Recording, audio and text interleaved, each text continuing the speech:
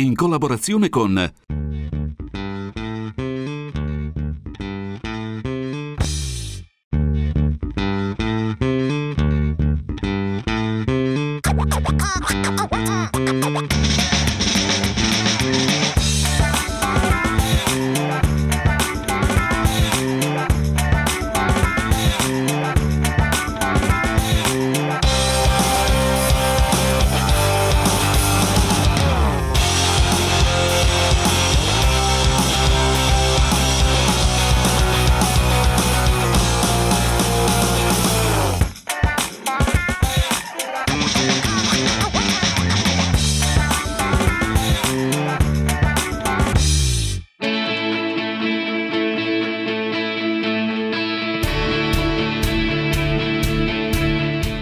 itinerari ben ritrovati, oggi saremo all'estremità della Valle Versa, in Oltrepo, Pavese, al confine col Piacentino, in uno dei luoghi culto della viticoltura oltrepadana.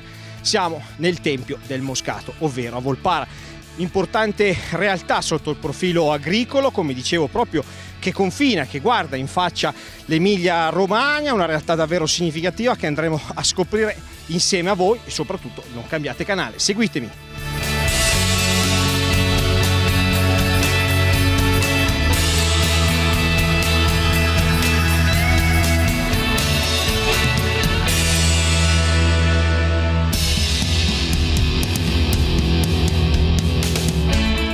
Ed eccoci arrivati nel cuore di Volpara e qui passeggiando in queste viette che incontriamo il sindaco Claudio Mangiarotti. Piacere, ciao Stefano. Ciao, ciao Claudio, grazie di averci ospitato e aver spalancato le porte del tuo comune per farcelo conoscere a 360 gradi. Grazie un comune davvero splendido in mezzo ai vigneti, un comune che è patria del Moscato, ovviamente conosciutissimo anche per questo prodotto enogastronomico dove si vive però bene, in mezzo alla natura, in mezzo insomma a tantissima arte, in, te- in tantissime strutture davvero storiche. Beh, eh, siamo in Oltrepo Pavese, più precisamente in Valle Versa, è veramente un piccolo comune eh, Volpara. È grande quanto un condominio di Milano forse, sono 140 residenti su un territorio di 4 km quadrati. Fa parte dell'Oltrepo orientale nella parte meridionale. Il centro del comune ha un'altezza di 350 metri e nella parte nord del territorio. Scendendo uh, verso sud, nella parte sud del comune, ci spingiamo verso la fascia appenninica, raggiungiamo il confine con la provincia di Piacenza e raggiungiamo le vette del comune, sfioriamo i 700 metri di altitudine, quindi è un comune che si sposta già nella fascia uh, montana del preappennino.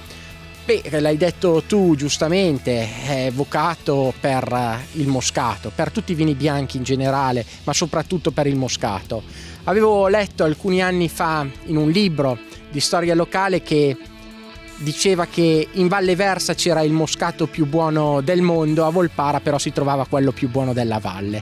Ed è vero, il terreno di Volpara è specialmente vocato per il moscato, ma per tutti i vini bianchi, perché c'è una buona produzione anche di Pino Nero, che è un classico dello spumante che rende fa- celebre la Valle Versa. Eh, il, ehm, di Volpara abbiamo delle tracce storiche che partono dal primo secolo d.C. Abbiamo, è stata rinvenuta anni fa, che eh, vedremo eh, nel contrafforte chiesa, vicino alla chiesa parrocchiale in un terrapieno una pietra tombale in arenaria, risalente al prim- è una pietra pagana uh, tombale risalente al primo secolo d.C., però è di chiara appartenenza romana, quindi questo ci fa pensare che furono i romani a creare il primo abitato di Volpara. Poi mh, non ci sono notizie eh, certe, ritroviamo dei dati eh, a partire dal 1250, dati chiari, e sappiamo che faceva parte della signoria d'Este. Uh, viene poi trasferita al feudo dei, con, uh, dei uh, vescovi di Pavia. Nel 18, 1413 questo passa ai, ai Beccaria insieme a uh, Golferenzo e a Montecalvo diventa il feudo dei Beccaria. e sappiamo che il feudo di Volpara rimane fino al mm, decadimento del feudalesimo passando ai Dal Pozzo e poi gli ultimi furono i Belcredi uh, ad avere uh, il feudo di Volpara. Uh, era d- dopo il trattato di Worms del 1743 il feudo di Volpara venne annesso alla, venne dato alla casa Savoia e quindi facevamo parte dell'antico Piemonte. Uh, eravamo parte dell'antico Piemonte ed eravamo proprio zona di confine perché uh, Volpara, ti ho detto prima, confina con la provincia di Piacenza, ci sono addirittura delle strade che sono ancora oggi confine tra le due, eh, tra le due realtà, tra le due, tra le due, regioni, tra l'Emilia e uh, la Lombardia e allora era ancora più marcata perché era zona di confine, era zona di dogana tra uh, l'antico Piemonte e uh, il, il, regno del Ducato di Parma e Piacenza. Quindi era zona di confine. Uh, lo è tuttora, però vabbè, naturalmente non esiste più la dogana ed è un confine strettamente, vabbè, solo amministrativo tra le due realtà. Siamo qui, eh, questo è il centro storico di Volpara, questo è di fatto quello che rimane del castello perché eh, finite le signorie è stato eh, passato ad abitazione civile. Questo uh, ha portato a renderlo più funzionale per la vita uh, abitativa e però ne ha uh, mutato la struttura originaria. Vediamo le sembianze di un castello, però mh, mm, purtroppo è andato perso quello che è l'originario di questo luogo. Però se ci avviamo uh, possiamo anche uh, passare tra i vicoli salendo verso il vicolo Picchi. I Picchi erano appunto i signori, furono parte feudataria di questa di questa uh, di Volpara e questo ce lo ricorda e qui arriviamo e ancora oggi eh, di privati riusciamo a vedere qual era la struttura del cortile interno del castello di Volpara. E questo è il nucleo più storico eh, purtroppo è molto rimaneggiato rispetto all'originale allora Claudio, ci hai fatto fare un giro davvero emozionante del tuo paese, ci hai già raccontato molto, molto dovremo ancora scoprire. Se sei d'accordo io inizierei il tour alla scoperta di Volpara, mi accompagni? Volentieri Stefano, andiamo.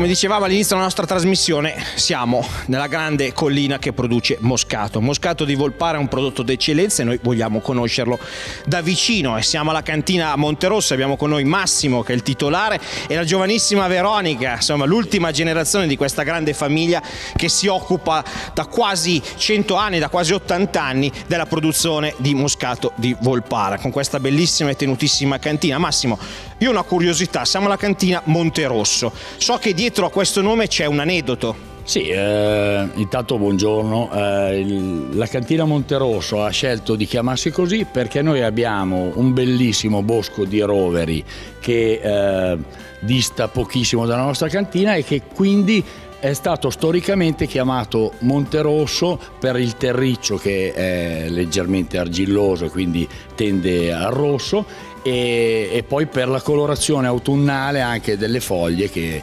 praticamente diventa in questo periodo un bosco veramente stupendo. Insomma. Parliamo un attimo della tua azienda agricola, dicevo che ha quasi 100 anni di vita, quasi supera gli 80 anni, non c'è un documento accertato, però ha una, una grande storicità. Allora, ehm, la nostra famiglia, come risulta dagli archivi, è qui a Volpara da sempre e già il mio bisnonno iniziava a fare un po' di vino e cominciava a servire soprattutto i nostri parenti e i suoi fratelli che erano immigrati a Milano. Quindi praticamente da lì in avanti è stato un crescendo. C'è stata una battuta d'arresto ovviamente eh, a cavallo della guerra e poi mio nonno Mario ha iniziato e mio padre ha proseguito e mi hanno trascinato in questa avventura dove io adesso sto trascinando lei, per ora una su tre perché io ho tre figlie e vedremo se poi si aggiungerà anche l'altra, non lo so, vogliono farmi lavorare praticamente finché, finché voglio. Insomma. Diamo delle cifre della tua azienda, la produzione, qual è il vostro mercato e poi due parole ovviamente anche sul moscato che poi andremo a approfondire anche nel corso della puntata. Guarda, eh, la nostra azienda è un'azienda relativamente piccola, è un'azienda molto semplice, a conduzione familiare. Noi ci basiamo ancora, cerchiamo di basarci su dei principi di produzione molto, molto genuini, insomma abbiamo tanti clienti che ormai vengono anche loro da generazioni un po' come i nostri, i nostri eh, genitori, eccetera. E quindi eh, semplicemente facciamo facciamo un vino senza usare tanta chimica, cioè usando il meno chimica, meno chimica possibile.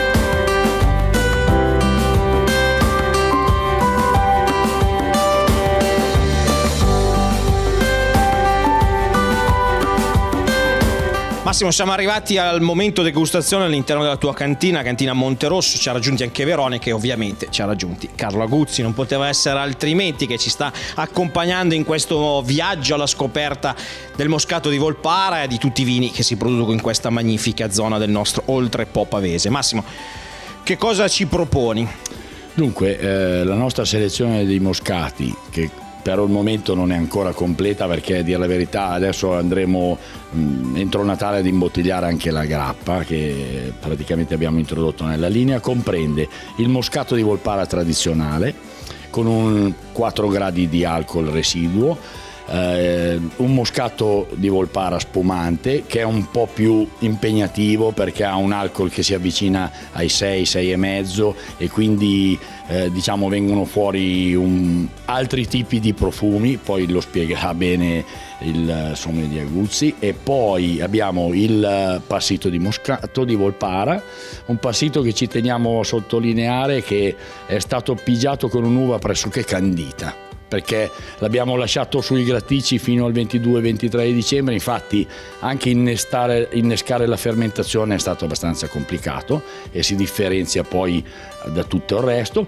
E poi una piccola chicca che noi però ci porta una certa soddisfazione che grazie al nostro al nostro, alla sua eccellenza il vescovo di, di Tortona abbiamo avuto la possibilità di eh, di avere anche il moscato da messa. Quindi adesso praticamente stiamo servendo anche alcuni parroci che preferiscono bere qualcosa di poco alcolico per non dire magari delle sciocchezze durante la, la funzione. E invece l'ultima cosa che vi dico e poi eh, lascio stare, lascio la parola a voi, è che quella bottiglia lì è praticamente la prima bottiglia etichettata da mio papà perché prima di quella le bottiglie venivano vendute praticamente senza etichetta, non esisteva nemmeno, insomma. E quindi quella lì era stato il primo formato di moscato di Volpara da, da, fatta da mio padre negli anni 45-50, ecco più o meno. Massimo, allora adesso andiamo a degustare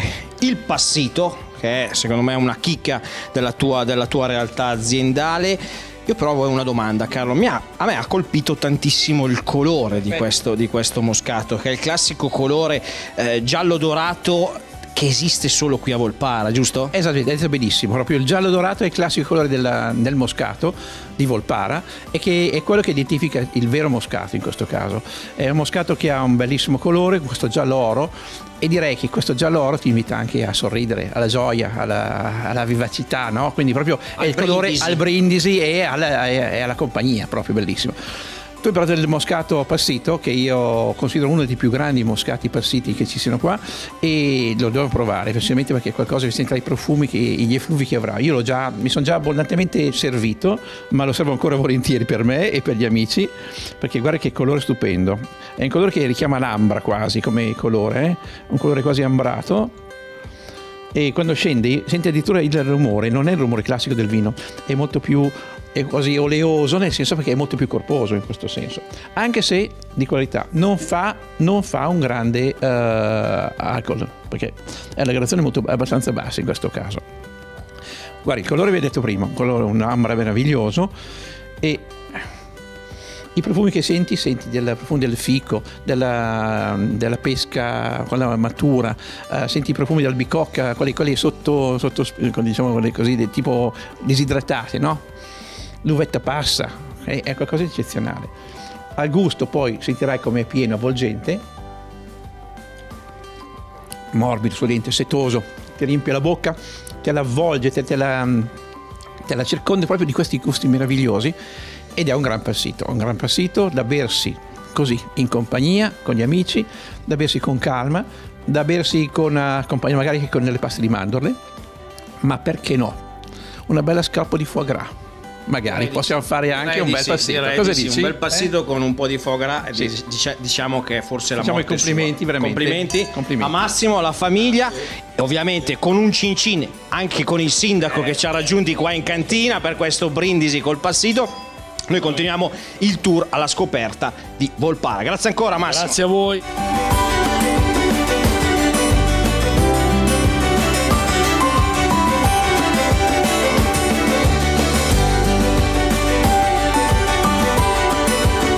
Eccoci al nostro primo momento gastronomico dedicato alla puntata di Volpara, un magnifico paese sulle colline dell'Oltrepo Pavese che vi stiamo raccontando e siamo in un tempio del gusto, ovvero siamo alla trattoria Il Ceppo, siamo con le titolari Simona e Daniela e qui davanti a noi una tavola imbandita di profumi, sapori, anche colori, perché no? Io parto subito dalla chef di questa trattoria e mi piace chiamarla trattoria perché qui si respira davvero la genuinità dei prodotti. Daniela, che cosa ci hai preparato? Preparato per i nostri telespettatori? L'antipasto che c'è coppa, salame e pancetta e abbinato con i sottoli e i fagioli con dentro la cipolla e il prezzemolo. Poi abbiamo il salamino cotto che adesso andiamo in autunno, lo usiamo adesso e poi passiamo ai primi. Di primo abbiamo questi che sono fatti tutti a mano, tortelli di zucca conditi con uh, burro e noci, con sugo di burro e noci. Poi abbiamo i famosi ravioli, i nostri che sono i principali, che sono conditi con, uh, questi qua con uh, il brasato. E sono fatti con il brasato proprio, fatti a mano anche loro, e i tortelli di magro, questi sono fa- conditi con burro e salvia, sono fatti con gli spinaci e la ricotta e anche loro sono fatti tutti a mano. Poi andiamo sui secondi. Andiamo sui secondi. Questo è il roast beef abbinato con uh, le verdure fresche, così con i pomodori in insalata, la famosa faraona con le patatine arrosto e poi abbiamo il famoso coniglio con i pinoli che anche lui è fatto andare coi, con uh, diversi sapori, con rosmarino, salvia e via, e abbinato ai carciofi. E poi c'è il famosissimo brasato che tantissime persone vengono a mangiarlo abbinato alla polenta tu ci sei in fondo. Arriviamo in fondo che ci sono i dolci, la torta con le mele, oppure la pera e cioccolato che è molto richiesta e la crostata con la marmellata. Tutte Io fatte da noi. Rigorosamente in casa, come rigorosamente in casa sono fatti questi, queste... Mh, mm, diciamo, questi, questi, primi piatti. Ecco, spiegaci un attimo la ricetta, andiamo un po' più nel dettaglio, magari su un piatto tipico che quello con la zucca. Allora, la zucca, eh, quelli con la zucca viene fatta cuocere la zucca, poi viene, mm, sono fatti principalmente con dentro il formaggio, ci sono dentro gli amaretti e basta il pane grattato così da mettere insieme e poi viene fatto con la zucca praticamente. Noi siamo entrati e vi abbiamo visti al bancone a lavorare, anche qualche segreto, so che per uno chef svelare il proprio segreto è qualcosa di impossibile, però io te lo chiedo Daniela, questa, questa pasta come è realizzata? È fatta a mano anche lei con le uova, facciamo, cioè mettiamo le nostre uova, la farina e poi la mettiamo nelle nostre macchine e viene fatta tutta e poi tirata tutta a mano cioè con la macchina ma a mano praticamente. E ovviamente anche la chiusura dei tortelli. La chiusura dei tortelli viene fatta a treccia, come le caramelle, vengono chiamate anche caramelle, ad esempio i tortelli sono chiamati sul piacentino tortelli di magro. Allora, cioè caramelle. Caramelle. Andiamo da Simona, che invece io come dicevo all'inizio, io mi sono trovato davanti un tavolo imbandito che rispecchia in pieno la tradizione. Quanto è importante per voi proporre ai vostri commensali quello che, è, eh, quello che rappresenta la gastronomia del territorio? Beh, eh, noi ci troviamo in un, uh, in un paese, Volpara, che praticamente è al confine tra Pavia e Piacenza, quindi i nostri piatti eh, richiamano un po' il piacentino e il pavese. Allora, i nostri piatti forti che la gente ricercano sono i ravioli di brasato, anche perché sono molto conosciuti, e in questo periodo specialmente la polenta col brasato. Le nostre materie prime sono ricercate, le carni, i salumi sono di nostra produzione, le carni le cerchiamo dai migliori allevatori e le, tutte le materie che noi utilizziamo per confezionare, per produrre i nostri piatti sono di prima qualità. La nostra clientela va, varia dalla provincia di Pavia, Milano e ultimamente anche molto Brescia, Bergamo e anche Torino. Noi prepariamo tutto esclusivamente, cerchiamo di fare il più possibile i piatti fatti da noi e uh, tantissime persone vengono proprio anche ad acquistare i nostri prodotti perché noi possiamo, abbiamo la possibilità anche di venderli. Bene Simona, grazie mille di averci illustrato così bene il, il, la vostra trattoria e ci raggiunge anche qui Carla Guzzi perché ovviamente si parlava di famiglia, ciao Carlos, di famiglia e qui assaggiamo un vino che viene fatto proprio qua, insomma, che porta il nome di, questo, di questa trattoria. Esattamente, uh, un vino scelto, avrei scelto una Riesling in questo caso, uh, perché se lo abbiniamo con i tortelli, con uh, diciamo caramelli, eh, nel senso piacentino, comunque i tortelli di, di, di erbette, condite con un burro fuso, uh, un vino che deve essere molto aggressivo. E a questo punto ho scelto questo Riesling, è un Riesling italico, fatto proprio della, della, della casa proprio, il famoso vino della casa, è Crevani Federico, il produttore che lavora anche qui e che soprattutto fa un vino che io dico che al giorno d'oggi sarà un vino che sarà molto ricercato. Perché? Perché il Riesling italico, cioè ormai è, sembra passato di moda, invece è importantissimo. E soprattutto fa una gradazione molto bassa, fa 11 gradi. Oggi la gente vuole bere anche leggero e questo qui è l'ideale. L'ideale è che così si può bere volentieri un bicchiere in più e si accompagna volentieri con questi piatti. Io se permetti, io ho servito una massaggiare. Esatto, perché sai, bisogna parlare sempre con la, le prove in mano. Eh, esattamente. Esatto, quindi eh, lo sentiamo il profumo è delicato, è il profumo delicato, qualcosa che richiama il floreare, il fruttato senza essere aggressivo e ha il gusto leggermente frizzante, il petit anche va a sgrassare e soprattutto massagrazioni come dicevo prima, importantissimo perché così possiamo berci un bicchiere in più a tavola senza avere tanti problemi e gustare appieno questi stupendi piatti che sono qua, che vedo che i profumi sono meravigliosi. Eh? Direi di sì, come meraviglioso è anche questo vino, noi continuiamo il tour alla scoperta di Volpara, quindi non cambiate canale.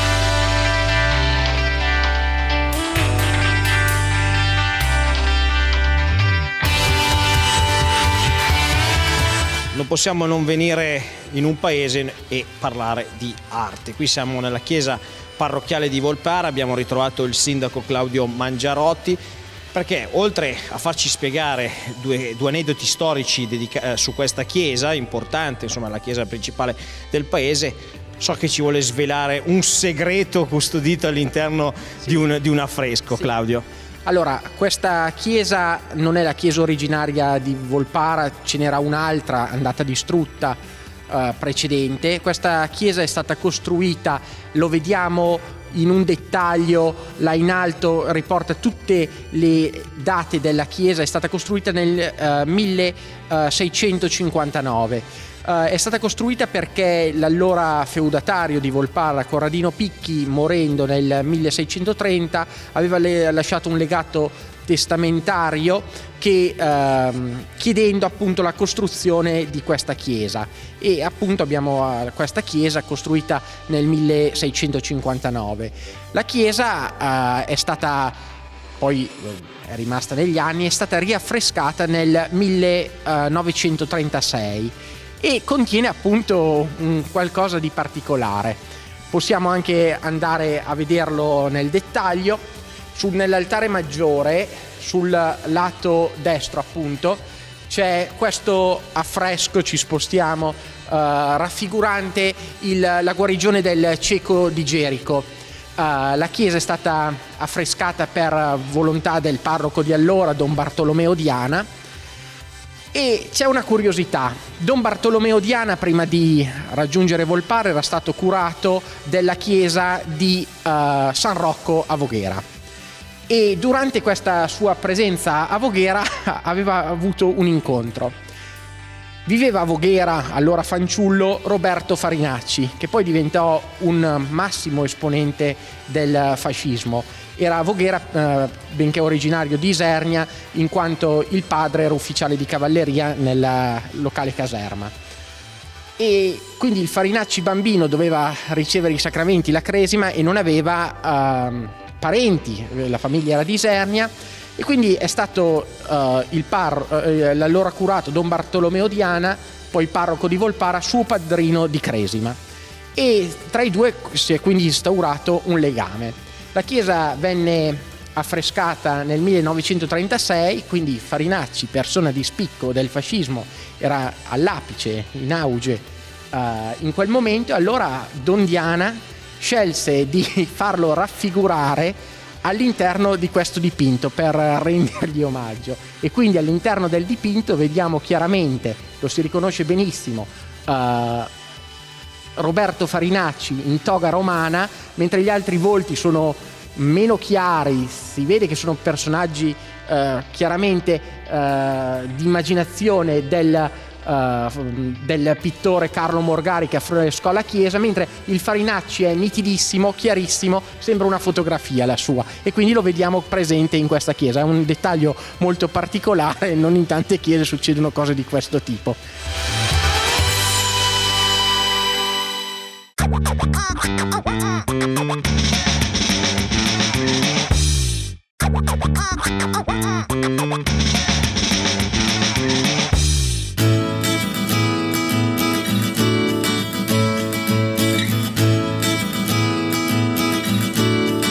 racconto adesso un'altra bella storia di Volpara. Siamo immersi tra i vigneti, ma tra i vigneti troviamo una coltivazione di zafferano.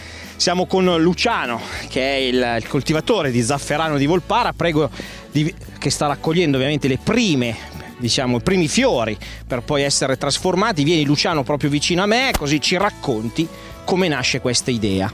Ma è nata da me e dalla mia famiglia un paio di anni fa e l'abbiamo messa in atto, diciamo. L'abbiamo iniziato due anni fa e sta andando bene, si, si tira avanti diciamo e visto che comunque abbiamo anche dei vigneti, la coltivazione di zafferano non va a interferire nel, nel, periodo della raccolta dell'uva, quindi finisce la raccolta dell'uva e poi ci possiamo dedicare allo zafferano. È una coltivazione difficile, ci vuole particolarmente cura?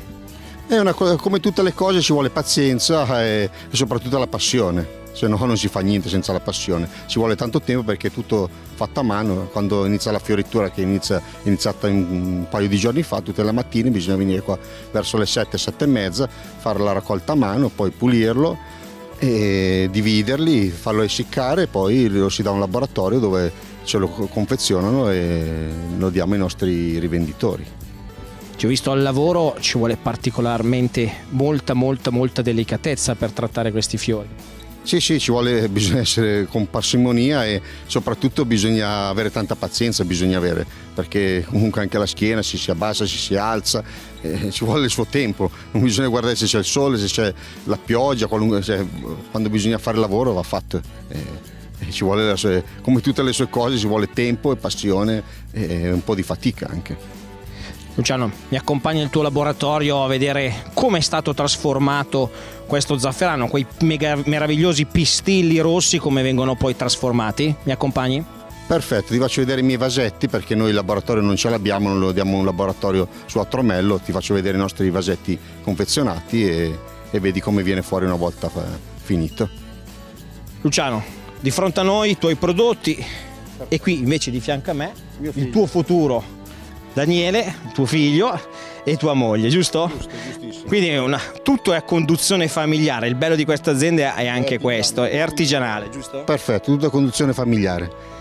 Cosa, che cosa sono queste? Come già detto noi abbiamo un'azienda un po' diversificata in questi anni, produciamo vini, soprattutto zafferano ci abbiamo puntato e poi mi è venuta questa idea, come tutti nelle nostre campagne abbiamo piante di frutta, mele, cacchi, mi è venuta l'anno scorso l'idea di provare, raccogliere le nostre frutte e fare delle marmellate. Quindi quando viene fuori della frutta buona nella nostra campagna la prendo, la, la, faccio, la, faccio, la preparo, la do a un laboratorio, ce la confeziona e... Ritorniamo al mitico zafferano di Volpara. Perfetto. Ecco, qua abbiamo il nostro zafferano confezionato. Come già detto, si vedono i fiori, questo qua è il pistillo. Una volta raccolto il pistillo, il pistillo viene fatto così, si prende il pistillo, si tira via e questo sarebbe il famoso pistillo. Una volta raccolti i pistilli si fanno essiccare, noi una volta fatti essiccare in un certo modo lo diamo a un laboratorio, gli consegniamo i nostri barattolini, questo laboratorio ce lo confeziona nella grammatura che noi abbiamo desiderato. Ovviamente tu parlavi di, di azienda che sa diversificare il proprio prodotto, non solo zafferano, non solo marmellate, ma anche produzione, piccola produzione di vino. Perfetto, sì, noi abbiamo iniziato con una piccola produzione di vino, non facciamo grandissime quantità, nel senso facciamo tre tipi, facciamo una croatina, una malvasia e, un pinot. Luciano, io ti ringrazio, ti auguro in bocca al lupo per la tua azienda, ringrazio la, la tua famiglia e magari adesso ci sediamo al tavolo e andiamo a assaggiare qualcosa.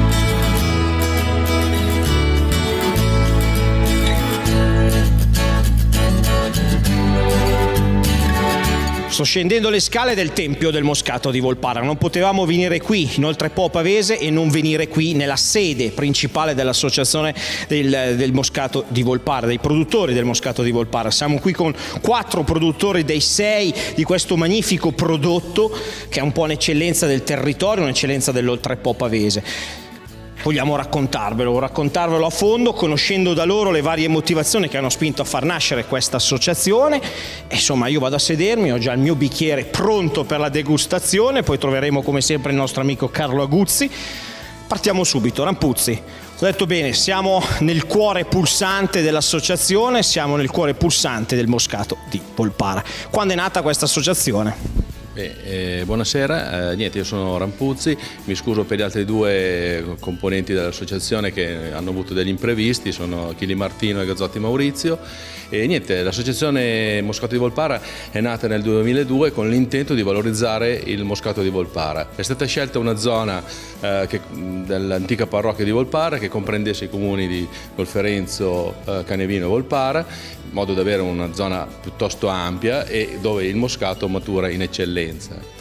Eh, dobbiamo dire che conserva sempre dei profumi molto interessanti, molto accentuati e in più ha una ottima maturazione che probabilmente avviene anche in altri posti ma non ha questa fragranza, questo profumo che ha qui da noi a Volpara. Massimo, allora Rampuzzi ha dato un po' la, quello che è il sentiment per cui è nato questa associazione, quello di valorizzare questo importante prodotto eh, enologico eh, sotto il profilo eh, direi a livello italiano, insomma si sta, state lavorando molto su questo, su questo tenore. Allora, eh, inizialmente eh, il moscato era veramente un prodotto che eh, andava poco, andava poco perché per fare un esempio anche abbastanza banale, anche con la torta, con i dolci veniva utilizzato più lo spumante eccetera. Noi chiacchierando al bar tra di noi eravamo stufi tra virgolette di vedere solo piemontesi che venissero in zona a ritirare per pochi soldi un'uva che noi consideravamo invece un'eccellenza del territorio per cui ci siamo messi di buona lena, eravamo ancora più giovani di adesso e abbiamo coinvolto inizialmente anche tutti i produttori di uva perché quello che Rampuzzi probabilmente voleva dire, non, è, non ha fatto in tempo, è che nell'associazione comunque formalmente ci sono inseriti anche tutti i produttori di uva Moscato di Volpara che, sono, che comprendono il territorio delle, dei tre comuni. E tra questi solo sei sono le cantine che lo vinificano all'interno del consorzio. Io mi sono spostato, andiamo a conoscere gli altri due produttori, Alessi e Calatroni. Alessi, insomma, eh, io voglio capire, abbiamo parlato di questa associazione, quello che state facendo per la promozione, ma perché nasce qui, in questo lembo di terra, al confine col Piacentino, un moscato, un'uva moscato così eccellente? No, fin dai tempi che furono c'è sempre stato questo, questo, questa tipologia di prodotto qui, essendo una zona alta, mh, mm, ai tempi si produceva più che altro vino rosso, perciò nelle zone alte andava più vino bianco e infatti nel comune di Volpara, eh, da che è stato tramandato dai nostri nonni, eh, abbiamo sempre saputo che c'era questo vitigno che arriva dal, dall'antico Piemonte, infatti questa zona faceva parte dell'antico Piemonte e infatti c'è sempre stato questo prodotto. Il territorio, il terreno tutto quello che è si presta bene perché il terreno è argilo marnoso con una vena calcarea che è quella che arriva dal vecchio Piemonte, perciò eh, assieme all'escursione termica questa zona qua dà questo prodotto molto profumato e aromatico che altre zone solo parlando dell'oltrepavavese, eh, essendo solo argilloso, non riesce a esprimere questo, questo prodotto così complesso, anche se si tratta di un vino dolce, che poi viene vinificato anche in varie tipologie, c'è il passito, c'è anche lo spumante, anche la versione secca, diciamo, moscato giallo, perciò abbiamo un po' allargato il, la tipologia moscato in varie versioni. Vedi questo territorio, questo terreno è molto identificato all'interno, all'interno, del prodotto, si sente nel vero senso della parola. Calatroni, io avevo una domanda, una curiosità, perché io sono curioso. Tutte le vostre bottiglie di moscato di Volpara sono identificate da un'immagine, che è una bellissima immagine che poi è stampata su una delle facciate laterali del vostro municipio di Volpara, che è una bellissima osteria degli anni 20, dove si brinda, e sicuramente si brinda prenderà a, col Moscato? Certo, questo è stato, diciamo, quando siamo partiti noi eh, si, voleva, si, voleva, identificare in una bottiglia, cioè riconoscere questo nostro moscato in una, in una bottiglia. Quindi siamo partiti dall'etichetta che abbiamo fatto un'etichetta comune con raffigurato questa antica osteria degli anni 20 eh, dove ci, ci, ci, raggruppiamo tutto. Eh, quello che hanno detto gli altri miei colleghi, eh, qua eh, viene, viene, questo moscato grazie al, al terreno, ecco, al terreno che c'è qua, come hanno detto tutti gli altri. Insomma, ecco. Due parole anche sul mercato, qual è il mercato di vendita di questo prodotto che ripeto e lo voglio ricordare con davvero con tanto cuore, è un prodotto di eccellenza assoluta del nostro oltrepo pavese.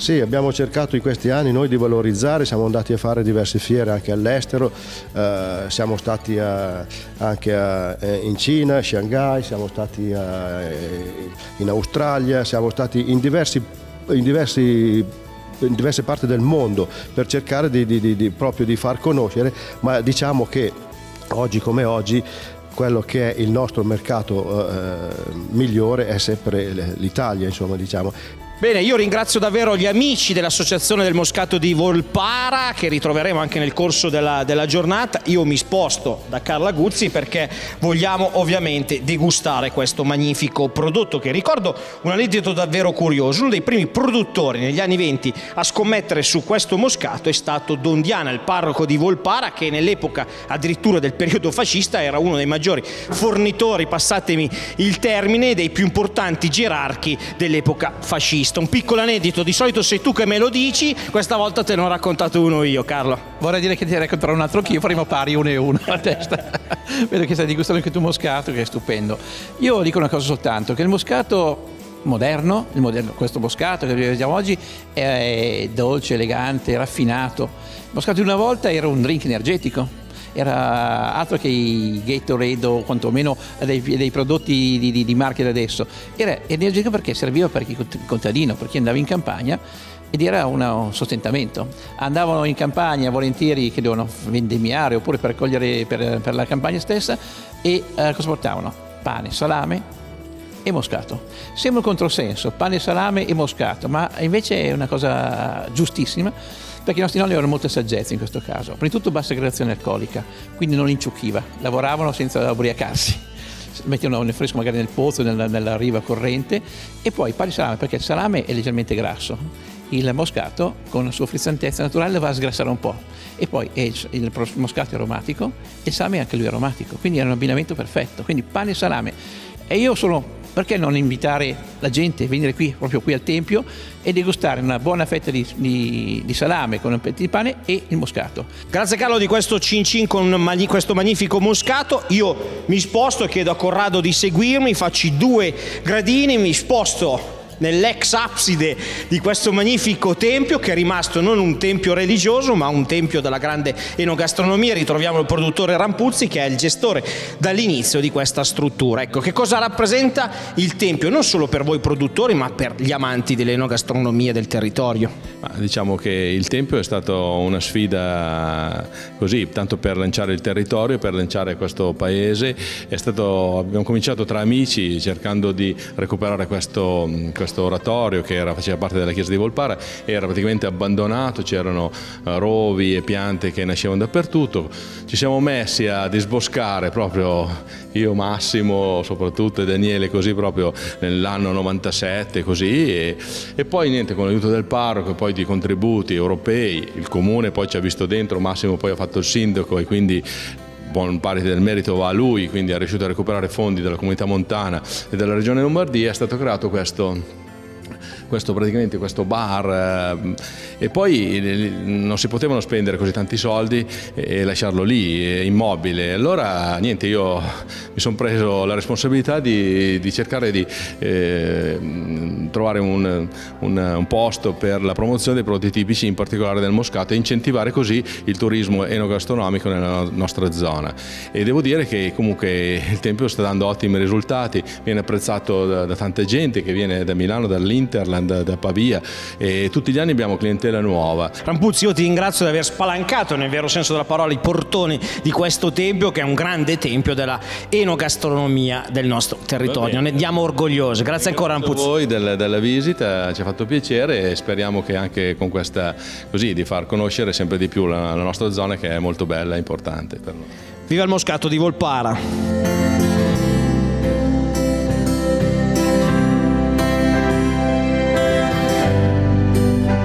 Alle mie spalle questo bellissimo anfiteatro che è un po' il cuore pulsante dell'attività culturale e attrattiva di Volpara. Siamo con Veronica che è la presidente dell'associazione Volpara Vivo, un'associazione molto attiva che si impegna a valorizzare il territorio e Volpara ovviamente in particolare.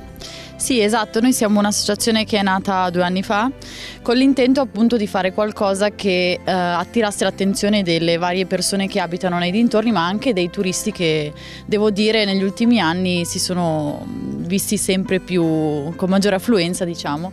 E quindi niente, noi nasciamo con l'intento di valorizzare il territorio proprio quindi attraverso le feste, le manifestazioni che facciamo in piazza mm, riusciamo a fare questo, ma anche con la volontà di portare un po' di arte in Volpara. E quindi grazie a questo meraviglioso anfiteatro che è stato costruito nel 2010 riusciamo ogni anno a creare una, sta- una stagione di più o meno 5-6 serate in cui proponiamo diversi tipi di spettacoli, dai musical ai concerti, eccetera, eccetera. Ecco. Quindi non solo buon vino, non solo moscato, ma anche tanto, tanti, tanti eventi che servono un po' a vivacizzare questo territorio. Ecco, prevalentemente da dove arrivano i turisti che vengono a visitare il, il territorio di Volpara? E devo dire più che altro dalla città, quindi Milano, comunque città limitrofe, eh, vengono alla ricerca di un posto dove eh, poter sentire ancora un po' di libertà, diciamo così. E Volpara si presta molto bene a questo perché come avrete potuto vedere regna il silenzio, regna la pace, quindi diciamo che sono davvero entusiasti ogni anno vediamo proprio che aumentano sempre di più. Insomma, speriamo che questo afflusso continui sempre, sempre, sempre, sempre di più. ti ringrazio Veronica di questo assaggio di quello che è Volpara, non solo sotto l'aspetto enogastronomico, anche sotto l'aspetto della cultura e della, dell'arte e del mondo ricreativo. Grazie ancora. Grazie a voi e a breve speriamo di poter pubblicare la prossima stagione così che sappiate tutto quello che accadrà in questo paese.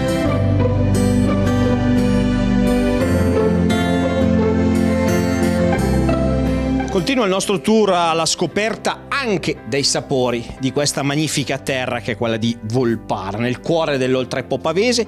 Qui siamo esattamente nell'ultimo lembo di terra che guarda Piacenza e il Piacentino. Siamo all'agriturismo La Costa, c'è una strada che divide la provincia di Pavia e la provincia di Piacenza. Siamo in una bellissima casa di collina, di campagna, travi, camino acceso alle mie spalle, davvero l'atmosfera è ai livelli più alti. Siamo con Attilio e Marina che sono i due titolari di questa magnifica struttura ricettiva dove si mangia ovviamente tipico. Attilio, noi siamo curiosi ma golosi, quindi partiamo subito. Che cosa ci hai preparato? Allora io ho pensato, vista la stagione, di fare un menù eh, dove il tema dominante è il pane, dove il pane in questo caso è l'accompagnamento dei salumi, che nel nostro trepò i salumi sono il classico, e che prosegue, vabbè, con la polenta.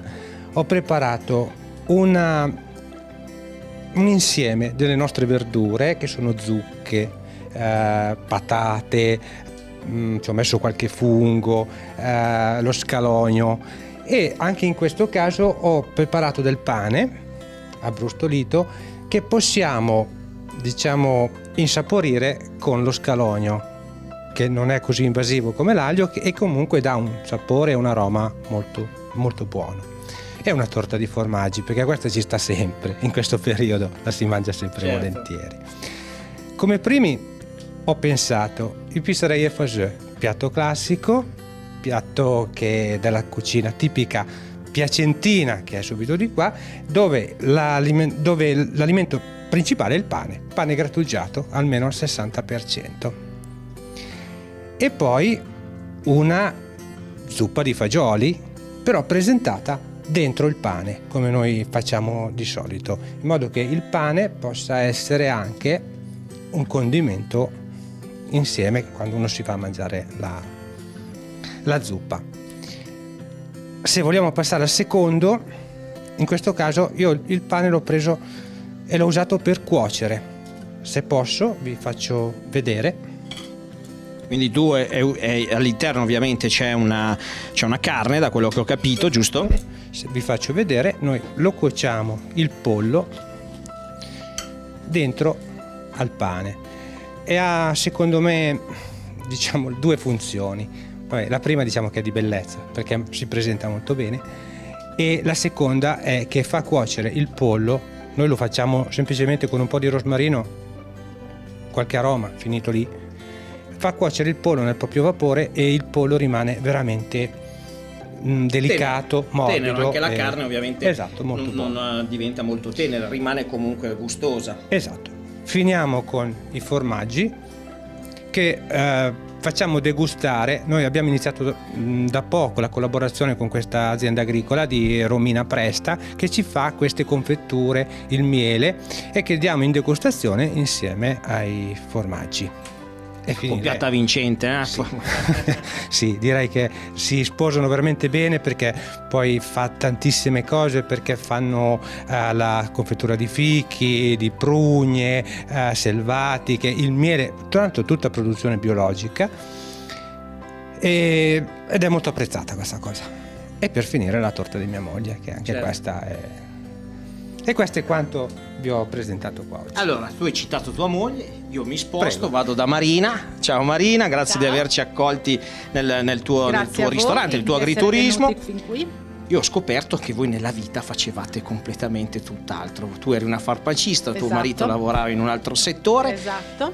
E che cosa avete trovato nella gastronomia? Nella gastronomia più che altro è stato per eh, tornare qui eh, nella casa dei nonni, dei genitori di mio marito, lui ci teneva tantissimo, ci tiene sempre, c'è l'azienda agricola e quindi portare avanti tutto quello che è la sua vita, la sua vita diciamo e quindi abbiamo pensato di fare questo, a me piace cucinare, ehm, lui anche ha imparato e a lui piace comunque avere a che fare con le persone, intrattenere le persone. Un po' l'anfitrione esatto, del- del l'anfitrione, parlare di vini e tutte queste cose e, e così nel nostro piccolo mh, cerchiamo di cerchiamo di, di avere a che fare con le persone e tutto sommato è bello e è bello far vivere la costa.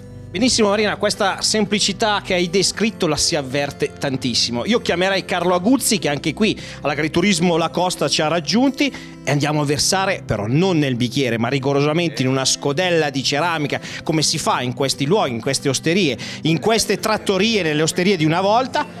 Che cosa beviamo? Beviamo Bonarda, hai detto prima giustamente, tra- tradizione, e allora la tradizione comporta la, la scodella, la nostra classica scodella, la scodella bianca, che ricorda tanto i miei vecchi tempi, vedi, il bellissimo colore, lo, lo si può anche far girare, che si vede proprio la colorazione che assume, lo verso anche per te ovviamente. Io ci metto il classico dito dentro. Io no, perché eh, la, la tradizione è giusta rispettarla, ma eh, mi piace da più, la- piace più rispettare in questo senso. Passiamo a chi gradisce. E, e cosa facciamo? Descrizione. Prima di tutto, beh, qui voi non vedete in televisione ovviamente il colore, ma il colore è stupendo, è bellissimo. A me piace avvinarlo, poi lo faremo meglio ancora. eh, si ossigena di più, il vino prende più aria, quindi respira di più, ha premi profondi diversi, molto più ampi è la bonarda classica, sentori di viola, sentori di- di- di- di fragola e in bocca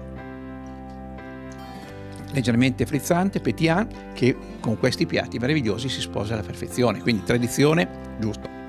vino e piatti sono proprio quello che ci vuole in questo allora, senso. Allora facciamo un cincina, la grande tradizione dell'agriturismo La Costa con questi bicchieri, o meglio scodelle. Adesso però noi Attilio e Marina vi ringraziamo davvero di cuore per averci fatto degustare questi prodotti e andremo a sederci perché vogliamo assaggiarli. Ma eh, non vediamo l'ora. lo dovete Eh, fare. Vi, vi prepariamo qua davanti al camino e come tradizione il dito dentro. Dentro, Ricon- condivido.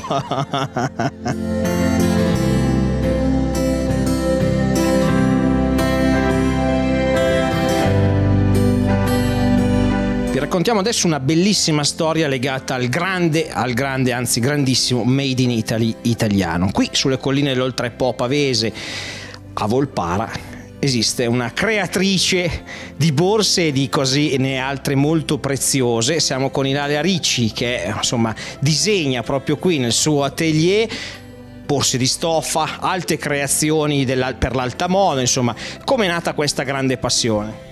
Allora, questa passione l'ho sempre avuta, quindi nasce con me e mi è stata tramandata la passione per il fatto a mano da mia madre, Cordini Rita, alla quale poi ho dedicato il brand che è Cordini Rita e mi ha trasmesso proprio la passione per il fatto a mano, l'artigianalità e da qui è nata la voglia di sviluppare la mia passione per la moda creando qualcosa di concreto e in questo caso borse. Siamo stati proprio selezionati in alcuni eventi del Fuori Salone di Pitti per presentare la nostra collezione, abbiamo partecipato anche a MIPE, la sua maestria che è stata lo scorso anno qui a Pavia e la rifaremo, poi abbiamo partecipato a tanti altri eventi anche a Milano, abbiamo fatto presentazioni, sfilate durante la settimana della moda e, ehm, e soprattutto insomma eh, siamo anche all'interno di alcuni showroom esteri in Cina e in Germania che quindi insomma ci permettono di far conoscere il Made in Italy nel mondo e quindi non solo qui in Italia. Qui viene creata la collezione dall'inizio fino al prodotto finito, quindi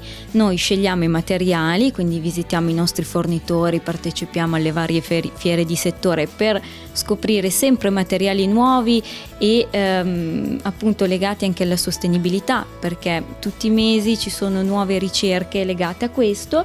Poi procediamo con la realizzazione sia dei disegni che dei cartamodelli, ad esempio questo eh, giusto per mostrarvi è un cartamodello dal quale poi si, si parte con la realizzazione della borsa, quindi dal cartamodello si passa a tagliare il materiale che poi verrà assemblato cucito, insomma la lavorazione è molto lunga, non è, non è così scontata perché ogni borsa ha una lavorazione a sé, quindi diversa anche in base al materiale, ad esempio lavorare un pizzo macramè richiede molta più attenzione rispetto a un tessuto magari più liscio, per cui ogni tessuto ha le sue particolarità.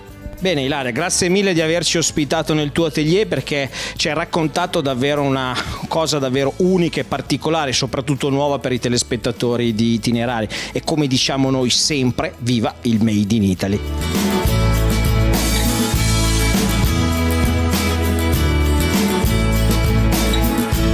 La famiglia Alessi è talmente radicata in questo territorio che dal 1500 è nata addirittura una frazione di Volpara che è Poggio Alessi. E qui siamo all'azienda agricola Il Poggio. Quindi siamo con Roberto Alessi, grazie mille di aver spalancato i portoni della tua cantina. Ho detto bene, insomma, è talmente radicata questa tua familiarità con questo territorio che addirittura ha preso il nome questa zona della tua famiglia, insomma, e tu hai poi preso il nome invece Poggio Alessi. Esattamente, come hai raccontato tu. Sì, eh, infatti siamo qua da parecchio tempo e amiamo questo territorio tanto da dimostrare che non ci siamo mai spostati, non ce ne siamo mai andati. E abbiamo di nuovo riportato in, eh, in voga il, eh, il moscato di Volpara, ri- ritornando a vinificare e cerchiamo di, pro- di produrre l'eccellenza della zona, assieme a tutti gli altri con l'associazione di cui abbiamo parlato eh, poc'anzi. Roberto, ovviamente eh, la tua azienda agricola, come dicevamo, ha una storicità lunga. I tuoi, i tuoi, i tuoi genitori, tuo nonno conferivano uve, quindi hanno smesso di lavorarla in cantina, invece vo- tu hai voluto riportare la passione di fare il viticoltore non solo in vigna, ma anche in cantina. Esattamente perché i miei bisnonni avevano la cantina, abbiamo anche qualche premio eh, per dimostrarlo, però eh, diciamo nel periodo della guerra che non è stato molto facile hanno smesso di, di vinificare e conferivano solamente i, le uve. Se sei d'accordo, dopo un giro veloce in cantina, perché io sono curioso, mi piace andare a approfondire come lavorate voi in cantina, ci spostiamo nella sala degustazione per il gran finale di questa trasmissione, degustando una chicca davvero particolare che produci quasi esclusivamente solo tu sul territorio, se non addirittura solo tu sul territorio e dove troveremo ovviamente nuovamente Carlo Aguzzi che ci sta seguendo e il sindaco Mangiarotti. Andiamo? Andiamo. Eccoci Roberto nella tua sala degustazione davvero singolare e particolare, addirittura hai usato una botte per, per, per, trasformarla in un tavolo, ci hanno raggiunti il sindaco Claudio Mangiarotti e il vice sindaco Bossi. Roberto, allora, ho una domanda. Noi abbiamo sempre assaggiato il famoso moscato dolce di Volpara. La versione secca perché e soprattutto come si fa? Eh, perché? Perché mh, mm, esiste nel resto d'Italia anche una tipologia di moscato secco eh, perché anche nessuno lo faceva e secondo me è un prodotto che merita perché eh, essendo un vino con un certo alcol perché ha un 13 gradi però avendo i profumi di questa zona qua che ha un profumo unico infatti i moscati d'Italia non sono come questo eh, questo tende ad avere inizialmente la frutta, la frutta diciamo l'albicocca e dopo si evolve nella salvia che trovi solamente in certe piccole zone del, del Piemonte, nelle più vocate. Per questo abbiamo deciso di fare questo prodotto, viene vinificato in due modi. A una parte viene fatta una macerazione sulle bucce di eh, circa 36-48 ore e l'altra parte eh, viene fatta fermentare a temperatura controllata per circa 30 giorni. Perciò è una fermentazione molto lunga a freddo, perciò a 12-13 gradi per non perdere proprio questo, questo profumo che cerchiamo di mantenere, che è il profumo del moscato di Volpara. Certo, insomma, questa aromaticità che deve eh, rimanere all'interno del bicchiere. Io nel frattempo vado a servire anche il sindaco, prendo anch'io il bicchiere. Carlo, Raccontaci questa particolarità. Io dicevo che è uno dei pochi produttori in zona a fare un moscato secco, se non l'unico. Anche nei nostri tour non ne abbiamo incontrati. Ecco, personalmente anch'io non, non conosco altre persone che abbiano fatto un moscato secco. L'unico moscato secco che ricordo io è in eh, Trentino Alto Adige, il famoso moscato giallo. Quindi qui abbiamo particolarità, una chicca proprio d'oltre Pavese in questo caso. E tu guardi il colore che è bello, un bel colore, è un giallo non molto carico però molto molto, molto dorato, comunque lo stesso, bello luminoso. I profumi, come ho ricordato prima, ho sentito prima come lo spiegava, eh, ricorda un po' l'albicocca, ricorda un pochettino la salvia, il muschio anche, il muschio bianco, quindi molto interessante. La particolarità è proprio questa in, gu- in bocca, il gusto che è molto asciutto, secco proprio, veramente secco, ideale per aperitivo, un bel aperitivo con questo moscato è ideale ideale anche con qualcosa a base di verdure specialmente. Quindi è un piatto un vino da servire a pasto antipasti oppure soprattutto anche i primi piatti a base di verdure.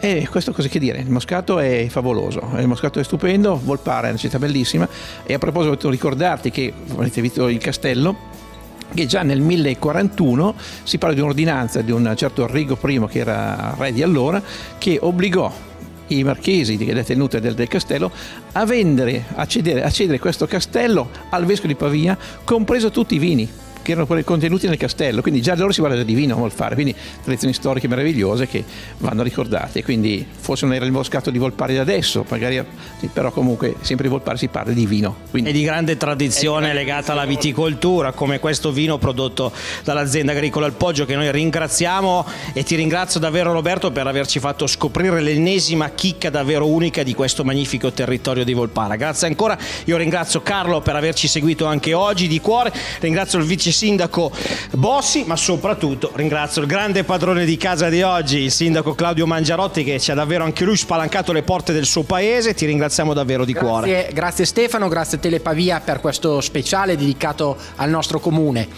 Beh, io abbiamo visto il moscato oggi in tutte le sue declinazioni.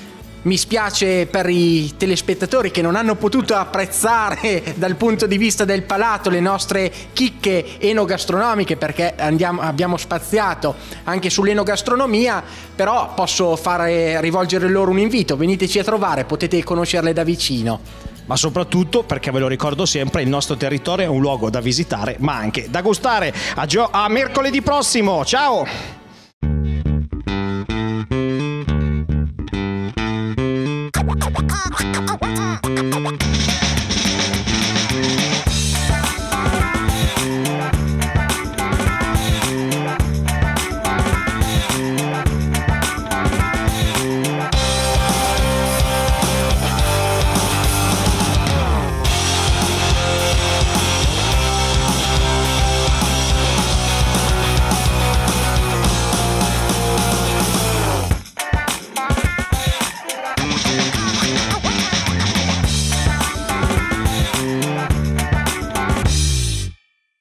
collaborazione con